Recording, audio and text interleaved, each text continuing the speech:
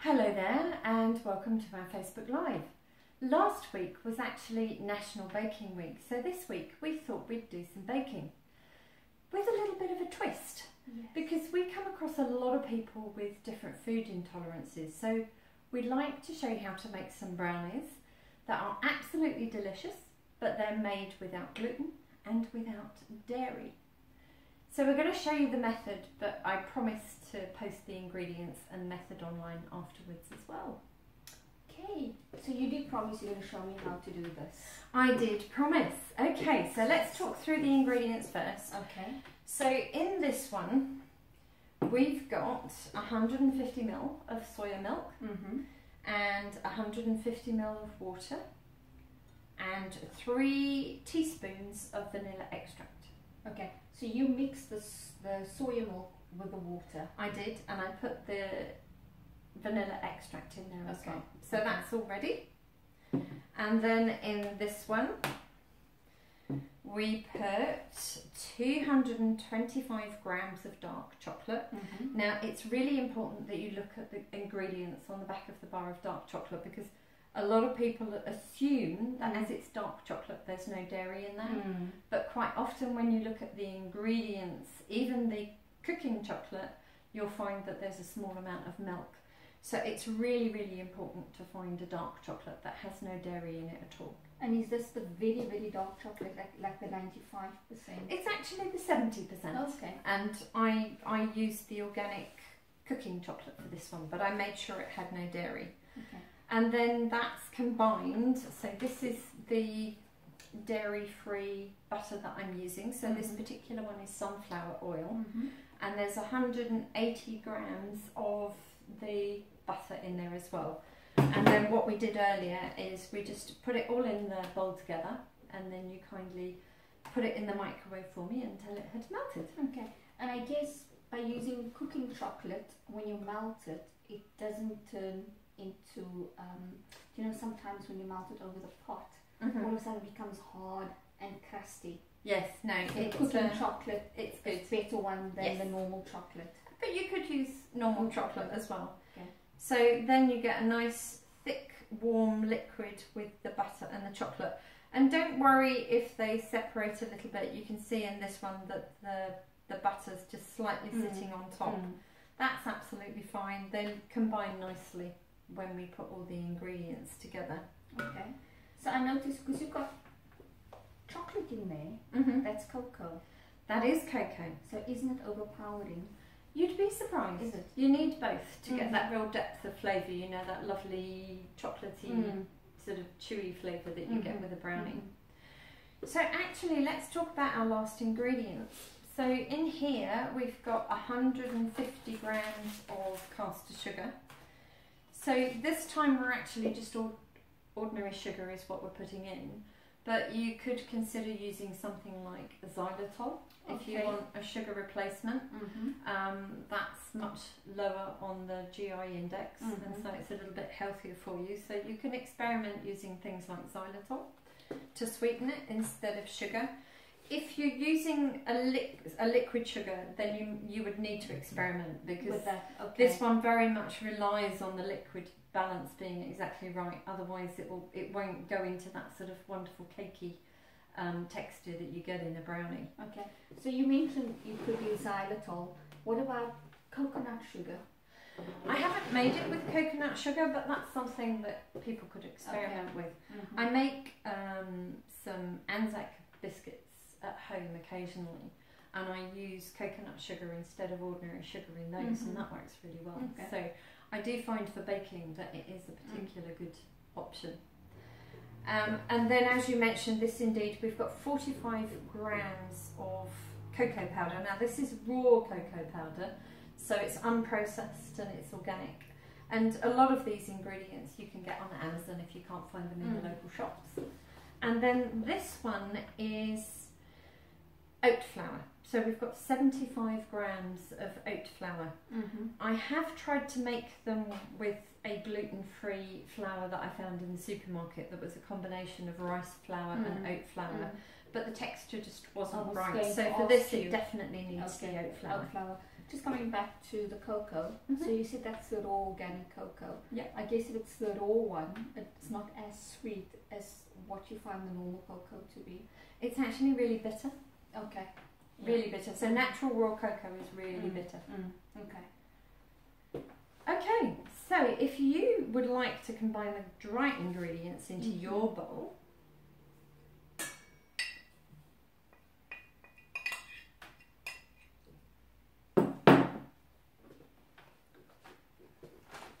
and then while you're doing that, I am going to add the sugar.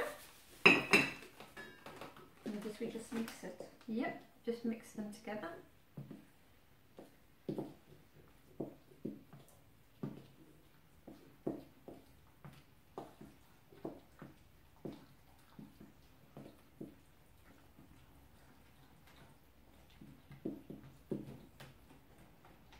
So I've mixed in the sugar Mm-hmm. and now I'm going to add in the rest of my liquid.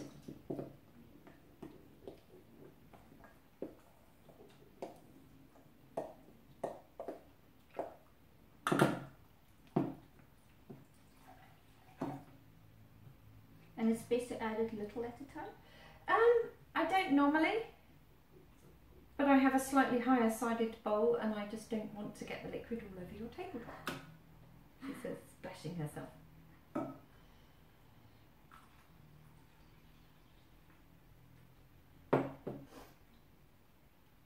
And at this point, it will be very watery. Yeah, I was going to You'll think you. it- yeah, because you need a consistency to it that looks like it's like drinking chocolate. Yeah, it is very, very liquid at this point in time. So you mixed now the cold ingredients with the warm ingredients. Yep. Does it clot or not? No, it will just stay liquid because the um, chocolate and the butter have been melted in the microwave. You just get a, a slightly, if you feel the pan, you'll feel that it's just very slightly warm. So at this point, it will stay completely liquid.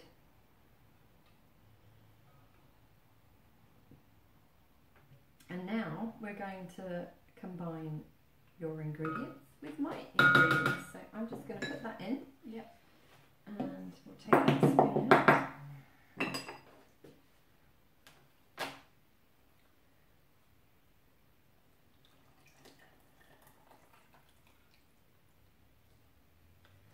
Okay, and now we're just going to use the spatula and slowly mix together.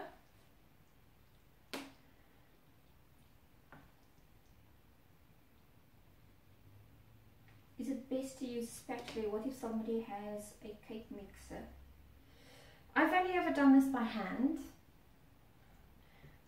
A lot of these things, it's it's all about experimentation. Um, but that's the joy of making stuff yourself and, and making it at home.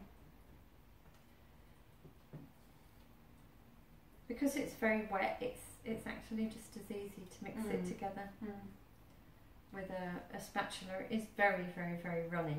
And then what happens is it slowly dries out in the oven. Okay. So now what we're having for tea? or without tea? Absolutely. Which is ideal because as I told you I'm busy detoxing. And I have, I'll have a small bit because there is natural, I mean there is the sugar that's in there. But then I know now when um, making it I can then replace it with xylitol. I think I'll probably try the coconut sugar. Yeah, yeah. You could experiment happens, with that and see see how it is. You might get a slightly different, richer flavour, but I'm sure it'll work really well. And I guess the co- coconut won't be that overpowering because the chocolate will balance it out. Yeah, and I have noticed with the coconut sugar, it doesn't really have a very strong. Um, it doesn't have a coconutty taste. Mhm. It's actually more like a brown sugar, like a muscovado sugar or something like that.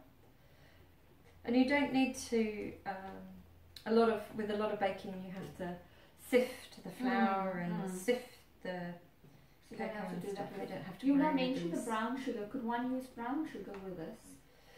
Um, you could try it. I've only ever tried it with the caster sugar. Mm. I have to admit. Um, and as I say, the first time I made it, I did make it without the um, the oat flour, Yeah. and it wasn't. It, it was still very nice and chocolatey, and it Mm. still made quite a nice dessert. Mm. But you didn't get that cakey consistency of a brownie. It had a, a sort of slightly gooier consistency, Okay. Yeah. which actually made a really nice dessert with ice cream. I was say, I was just thinking about the ice cream now, thinking, hmm, it's actually nice with that. Mm-hmm. Saying somebody who's busy detoxing. but I guess Yeah, that goes all through your mind, not. all the nice things that you can have or should not have at this stage. Yeah. But the beauty of, of cooking at home is, is you can make some really nice treats. If you look up people like Helms, Hemsley and Yeah. Hemsley, Yeah. they make some really nice chocolatey flavour um, sweet treats. But they use coconut sugar, they use um, honey, all sorts of things that you can actually have a really nice treat that Mm. satisfies a sweet Mm. tooth that actually has some nice things like coconut and stuff in. So actually, it doesn't give you that sugar rush Yeah. of ordinary sugar. It, it, um, it you don't get that sort of rush and then that The crash, crash afterwards. Yeah. And It, it evens out in the body. And I guess what's nice about it is that, like you said, it's so much better making your own. But Yeah. you also know the ingredients that you're putting into it. Absolutely. I mean, when you ac- when you get a lot of ready-made things in the shops, they have to have preservatives in them to Mm. hold the shelf life. Whereas when you're making stuff at home, you know exactly what's gone in it, Yeah. and you're making it to be eaten straight away, so you don't have to put all the preservatives. And it's amazing. I mean, not just with baking, but making food generally. It's Mm. it's amazing how you can make stuff actually relatively quickly Mm. And really really tasty. Um, I recently made a prawn korma and I tried coconut rice Mm. for the first time, and that was really nice. And you're doing yourself a nutritious, delicious Mm. meal. But then I started looking because I have to be careful how much gluten I have. Yeah. But I, I still have a little bit of a sweet tooth, so I started looking around for things that um, I could have that were perhaps gluten free or Mm. perhaps a little bit healthier. Mm. So I've started experimenting with different flours and different sugars and dairy replacement. And I've got quite a few friends that are vegan and vegetarian Yeah. as well, so just learning how to make stuff that they can have too. And um, and I'm actually thinking now. Everything that we've used, besides the sugar, and you can replace that, would be perfect for a vegan as well. Absolutely. Yeah.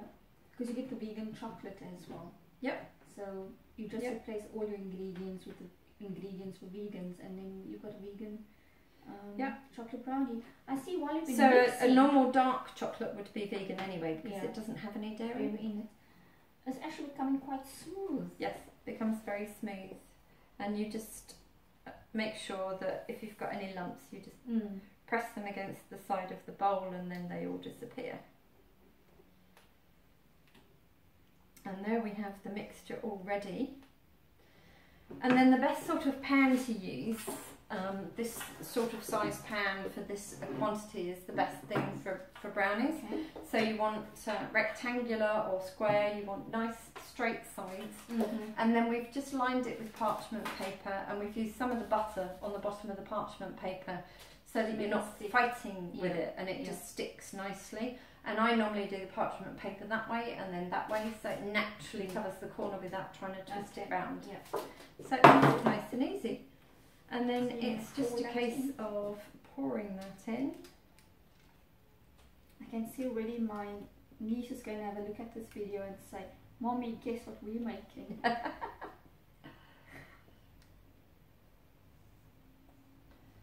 So this recipe was actually given to me by a friend of mine who has her own catering business Mhm. called Halleberry Catering. mm-hmm.